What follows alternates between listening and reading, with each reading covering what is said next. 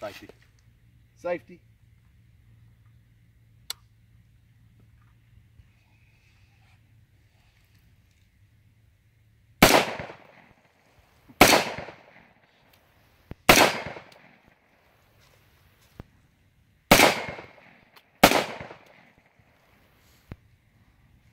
So you really can feel the. Yeah. That's all you can feel right there is the Well, that's bolts. that's not- all that's moved. That's the only movement in the gun.